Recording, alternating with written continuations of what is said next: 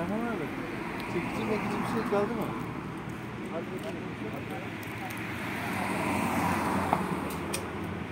Abi arabada